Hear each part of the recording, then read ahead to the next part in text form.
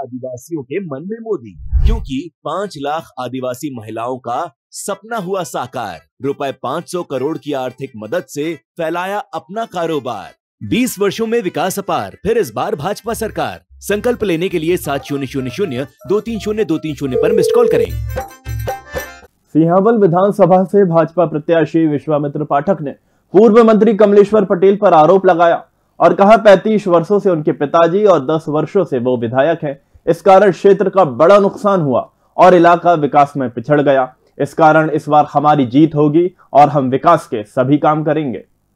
सिहावल विधानसभा क्षेत्र के भाजपा प्रत्याशी विश्वामित्र पाठक ने कांग्रेस प्रत्याशी कमलेश्वर पटेल पर बड़ा आरोप लगाया और कहा, कमलेश्वर पटेल और उनके पिताजी के कारण इस इलाके का विकास अवरुद्ध हुआ है। उन दोनों ने क्षेत्र के लिए कोई कार्य नहीं किया है। मैं 2008 से 2013 तक विधायक था। तब हमने कई विकास कार्य किए, लेकिन कमलेश्वर पटेल जातिवादी राजनीति कर रहे हैं। वो जनता के बीच जाकर भ्रम फैलाते हैं और कहते हैं कि हम कुर्मी, तुम काछी हो, हमें वोट दो। यदि विश्वामित्र जीत जाएँगे तो रहने नहीं देंगे। ये गलत है। मैं 2008 से 2013 तक विधायक था तो किसी का नुकसान नहीं किया। विश्वामित्र पाठक ने कहा कि इस बार हमारे पक्ष में हवा है। जनता कमलेश्वर पटेल से पीड़ित है। ने आपको प्रत्याशी बनाया। है अपार जन समर्थन मिल रहा है? क्या उम्मीद है कि कहीं जन समर्थन?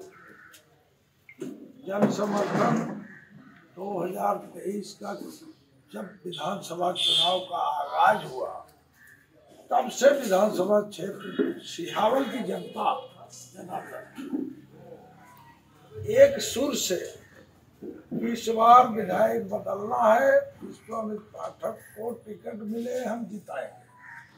ये जनता जनार्दन शुरू से मेरे साथ है। उन्हीं के आवाज़ पर हमें टिकट मिला और वो खुद प्रचार कार्य में लगी है। सारी जनता, मतदाता, जिनको वोट देना है, वो खुद प्रचार कार्य में लगे हैं। विधानसभा क्षेत्र में विश्वामित्र मतलब बदलाव चाहती हैं आप लोग? बदलाव ही चाहिए। क्या योजनाएँ मिल रही हैं हमें तो वो मोदी सरकार मतलब हमारे मुख्यमंत्री शिवराज सिंह मामा की वजह से मिल रही हैं। बाकी हमारे दस साल के कार्यकाल में माननीय विधायक जी कमिश्नर पटेल जी थे और उनका कोई भी कार्यकाल नहीं दिखा। और पहली बात ये है कि वो औरतों को मान सम्मान देना नहीं जानती अगर औरतें एक हो जाएँगी, अगर चाह लेंगी तो उनको एक भी मिनट के लिए पल जैसे वो बोलते हैं छू कर देंगी। तो भी उनको छू कर देंगी एमपी के गरीब के मन में मोदी, क्योंकि पूरी हुई पक्की छत की आस 44 लाख गरीबों को मिला आवास। 20 वर्षों में विकास अपार, फिर इस बार भाजपा सरकार। संकल्प लेने के लिए सात शून्य शून्य शून्य, दो तीन शून्य, दो तीन शून्य आरोप मिस्ड कॉल करें।